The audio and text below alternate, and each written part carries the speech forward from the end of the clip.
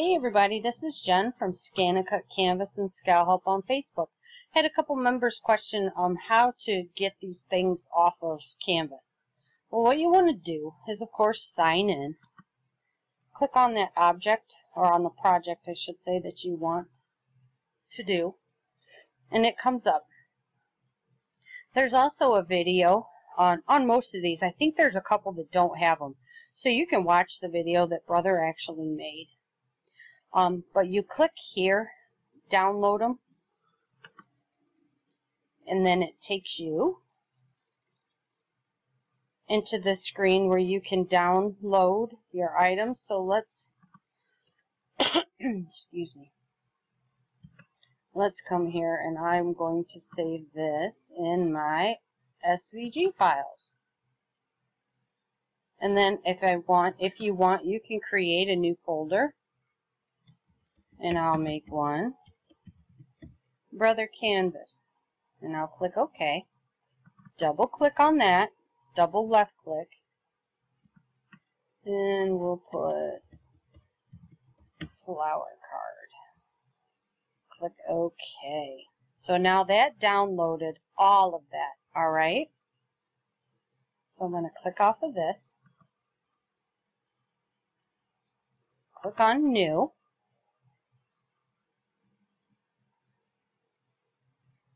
And wait forever and a day for it to open. Hmm. okay, I'm going to show you something here, something you want to be aware of. If I come to the SVG and I choose my file, oops, there's all my videos I do. I come to the SVG file and I come to Brother Canvas. Okay, it can't be used. Well, why not? Well, because it's zipped. Okay? So let's open the file.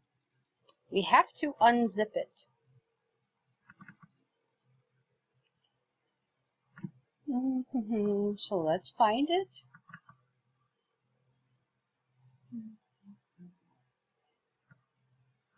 Here's my brother canvas. So I hover over it. I have a Windows 10 system. I'm going to left click once and that highlights it. Well, you can come up here and do the extract, which is what I will go ahead and show you. You can click extract all because Windows has a native inbuilt extractor. Okay, so now let's click through it and make sure it's all open. Yes, they're all open now. So I can exit out of that. I'm going to come in here. I'm going to go choose my file now. Okay, if you want, you can see what it looks like, but let's just click A. Click OK. And there it is. Alright, so now you don't have to make any changes because, now this is very important, if you make any changes on this page, you need to make sure you make them on all the other pages because if you don't, especially, and this is in regards to the size, if you change the size here and you don't change the sizes on the other pages, you're going to be in trouble because it's not going to fit. Alright, so let's say title. We'll just put just like they have it, the A. Okay, let's go to download. Now I have the 650. I also have the 100, but right now, if I wanted to do this, I could click it, and right now I don't have it hooked up, but that would send it wirelessly, okay, to my ScanNCut. So I would walk up there and I would hit this button right here, which is what it's showing you, and that would pull it up on my screen. And I would be ready to wirelessly cut it, okay? Or I'm going to do this again.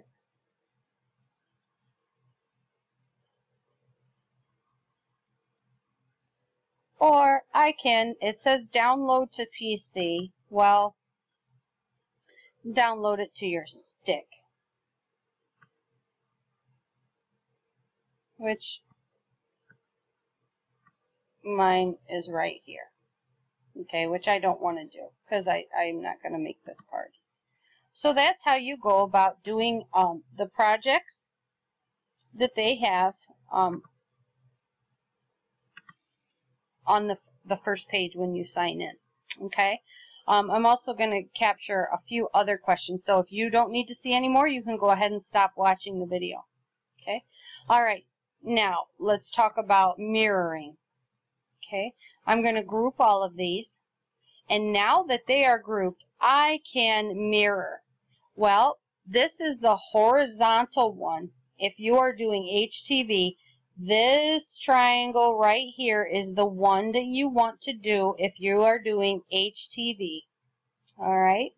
Or if you uh, are doing like the glass etching and you want to do it on the bottom side of like a Pyrex pan and you want to use 651 vinyl for your stencil, use this. That will mirror the image so that you can get the proper um, cut.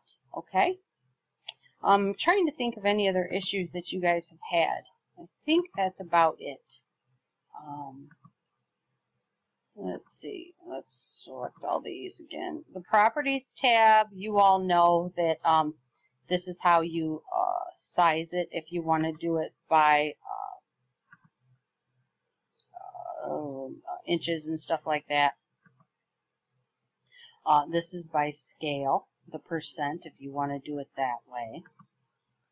Um, you can uh, rotate it if you want to do it that way. And then this is how you can add color. I'm a big one for neon, uh, like the neon pink. And then your patterns, if you want to make it dashed lines, you can do that. So I have just now put a score line um, on all of the shapes. Okay? And with Canvas, this is one really good thing about this, is that when this uh, file is saved, it saves as both a cut and a draw line, which is a really good um, thing that I like about Canvas. Alright? If you guys have any questions at all, you can find me over at ScanNCut Canvas and Scal Help on Facebook. Thanks, guys.